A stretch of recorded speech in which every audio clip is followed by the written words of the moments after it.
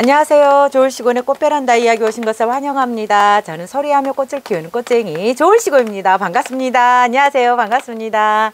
여러분들 잘들 지내고 계시죠? 예, 오늘 이렇게 예, 비가 옵니다. 장마가 끝날 뚱 말뚱 이러면서 지금 계속 비가 오는데 우리 이제 거리대 생활 하시는 꽃님들 그 다음에 바깥 야외에서 제라늄 키우는 꽃님들 비 올 때 어떻게 제라늄 관리를 하시는지 어, 좀 궁금도 하면서 좋을 시고가 어, 이제 베란다 거리대에서 제라늄들 예, 안전하고 건강하게 키우는 어, 방법에 대해서 조금 이야기를 할까 합니다.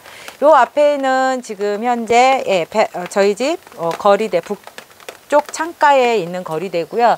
여기는 좀 작은 파종이들이 지금 요렇게 예, 자리 잡고 있습니다. 조금 몸살을 좀 심해서 다시 상토 삽목 상토로 화분갈이 한 다음에 지금 네, 비가 오나 바람이 부나 이렇게 이쪽에서 지금 나오지 않고 지금 이렇게 자라고 있고요.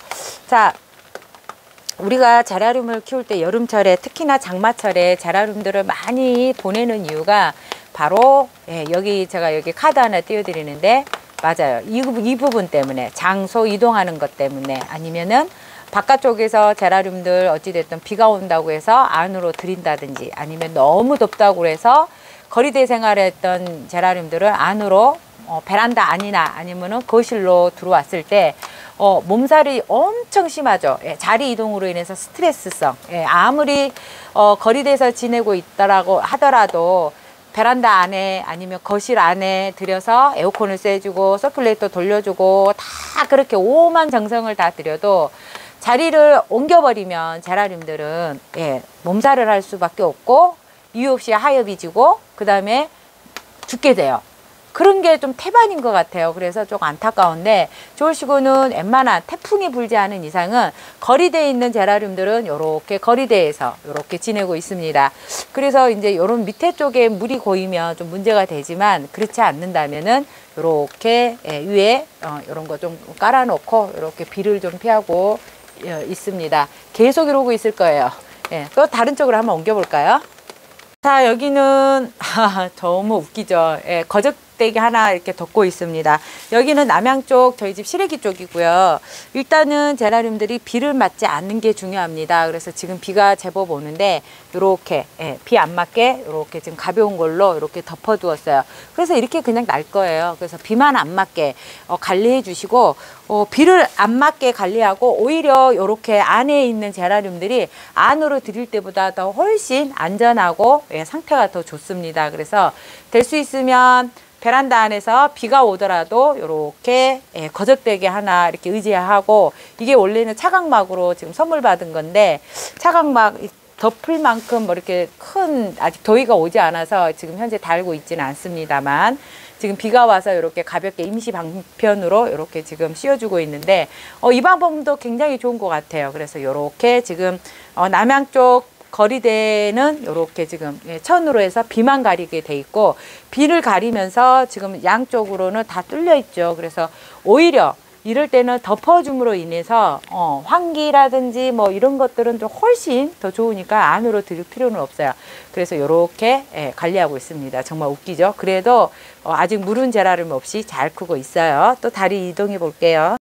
자 여기는 현관 북 향 쪽입니다. 북향 쪽 저희 집 예, 파종 제라늄들이 있고요. 지금 이렇게 예, 거리대 예, 비닐 하우스로 이렇게 지금 들어가 있습니다. 이거 하나 있으면 되게 편해요.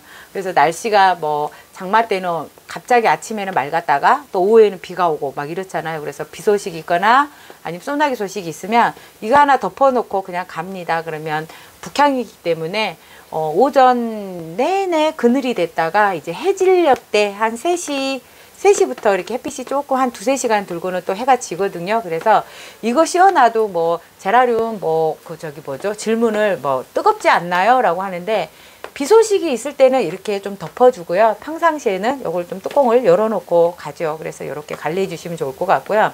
이 여기도 마찬가지예요. 이렇게 뚜껑을 덮어놔서 그냥 특별하게 예, 바람 많이 뭐 태풍급으로 불지 않은 이상은 여름 내내 이 자리에서 이렇게 제라늄들 거리대 생활을 하고 있습니다.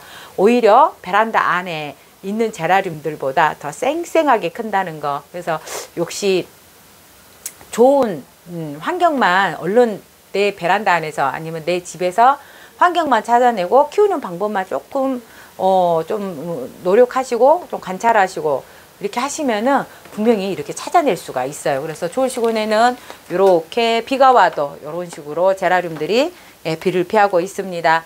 아, 다행히 아직 이렇게 밖으로 내친 제라늄들 중에 무름이 온 제라늄들은 없어요. 때로는 좀 우습기도 하고 때로는 좀 음, 유별나기도 하지만 이렇게 관리를 정성스럽게 해주면은 어, 나중에 무름병이 없이 잘 관리가 될 수가 있어서 그게 좀 좋은 것 같습니다. 자, 별거 아닌 이야기지만 우리 꽃님들께 꼭 이야기 드리고 싶었어요. 장마철에 또 거리대 생활할 때 제라늄들 드려야 되나요? 말아야 되나요? 이런 질문에 어, 좋으시고는 태풍만 아니면은 안으로 들이지 않는다.